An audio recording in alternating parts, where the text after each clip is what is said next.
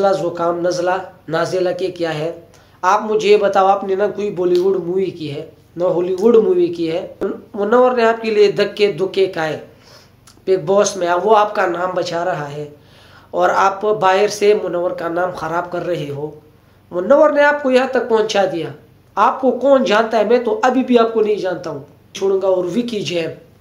विकी जैन जिस तरह से अंकिता को एटीट्यूड दिखाते हैं शो में दोस्तों बिग बॉस सेवनटीन में मुनवर फारूकी और अंकिता लोखंडे को तो आप सब लोग पहले से ही जानते हो। तो आज मैं इन दोनों की रियलिटी आप लोगों को बताता हूँ। इन दोनों की रियलिटी ये है कि अंकिता लोखंडी किसी तारफ के मोहताज नहीं, ना मुनवर किसी तारफ के मोहताज है। इन दोनों की वजह से बहुत लोगों का रोजी रोटी चल रहा है। पहले मुनवर का आप, मैं बताता हूँ मुनवर का।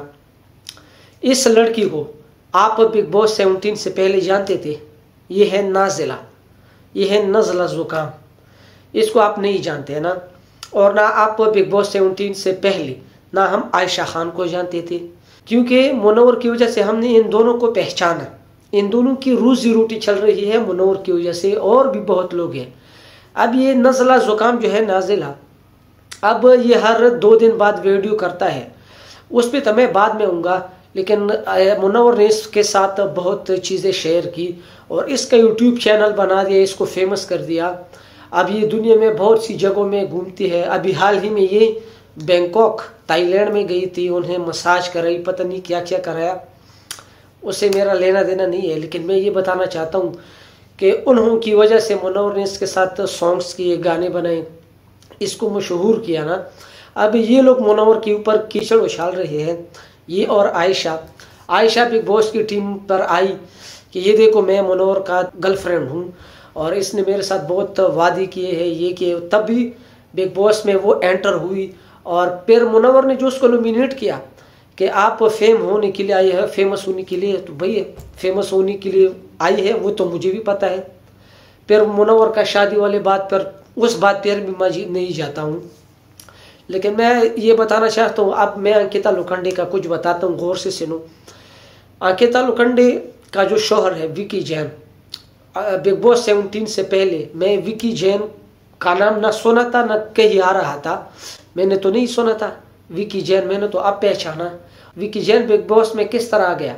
ये अंकिता लोखंडे ने उसको बिग बॉस में भेजा। अंकिता लोखंडे के थ्रू बिग बॉस ने उसको क्या कर दिया? अप्रोच कर दिया। अंकिता नहीं मान रही थी। अंकिता का ये डिमांड था कि ये मेरे साथ जाएगा तो तभी मैं जाऊँगा। अंकिता लोखंडे का जो शोहर है, विकी जैन, अब वो भी किसी तारफ का मोहताज नहीं है, लेकिन वो पहले तारफ का मोहताज था।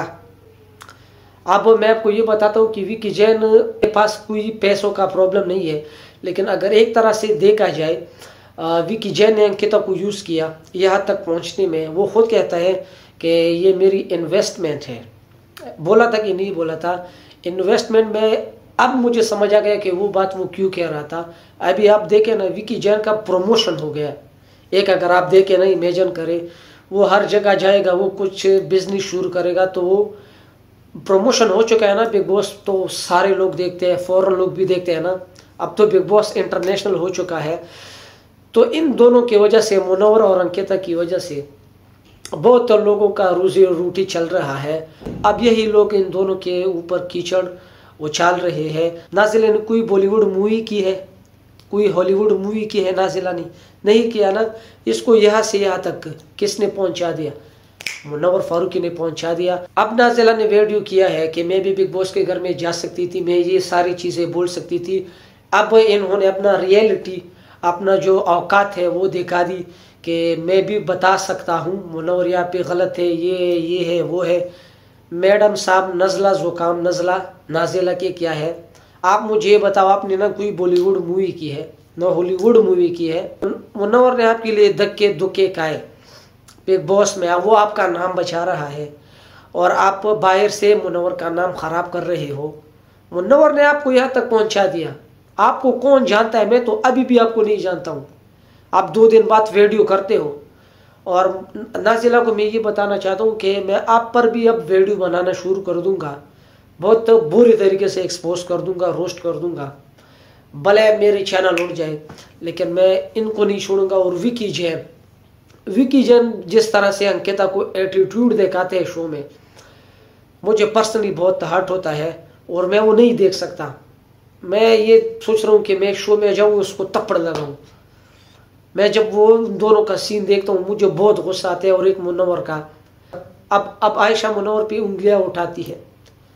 भाई आप हो कौन? आपने कोई मूवी किया है? आयशा खान को मैं बोल रहा हूँ। आपने क्या किया है? आपने कोई, आप किस केत का मूली हो? आप अंकिता लोखंडे या मुनवर बनने की कोशिश मत करो। अंकिता लोखंडे को आप लोग जानते हो ना, मैं आप लोग अंकिता का एक सच बताता हूँ। चार हज़ार प्लस एपिसोड किया है। चार हज़ार प्लस। मतलब पहले तो एक शो करना, फिर उस शो को यहाँ से यहाँ तक जाना, फिर बीच में ना छोड़ना उस शो को, ये भी एक दिलरी का काम है जो हर किसी ने, हर कोई नहीं कर सकता। जब कलर पर कोई नई सीरियल शुरू होती है तो जब उसका ये पचास एपिसोड शूट होता है, या पच्चीस एपिसोड या सौ से ऊपर तो लोग क्या करते हैं? छोड़ देते हैं। अंकिता ने चार हज़ार प्लस एपिसोड एक ही सीरियल के साथ कंप्लीट किया है। डे वन से और लास्ट डे तक जुड़ी जुड़ी हुई है। और मैं समझता हूँ कि चार हज़ार प्लस एपिसोड करना, एक सीरियल के साथ अटैच होना उसके, उसको ना छोड़ना, ये भी एक बहादुरी का काम है। और दूसरा, मैं मनोहर के लिए ये बोलना चाहता हूँ कि मनोहर आपने बहुत से लोगों पर एहसान किया। लेकिन अब अपनी आँखें खोलो और हर सड़क पर छाप लड़कियों से मोहब्बत बंद कर दो और अपनी औकात बताओ इन लड़कियों को। इन लोगों को, इन लोगों की क्या औकात है? ये नाजिरा ये आयशा कुछ और है, इन्फ्लुएंसर है। बताओ कि मेरी मर्ज़ी, मैं करूँगा। तेरे को जो उखाड़ने उखाड़ो इन दोनों को मैं देखता हूँ, अंकित और मनोहर। दिल जलता है, दिल जल। दिल जलते हैं कि इन दोनों के साथ वाकई में बहुत बुरा हो रहा है। और कोई बोल नहीं रहा है। हालाँकि करण सर ने बोल दिया, लेकिन वो कम बोल दिया। विकी को मुक्का लगाना चाहिए ना। इतना मुझे हर्ट हुआ ना इस बात पर।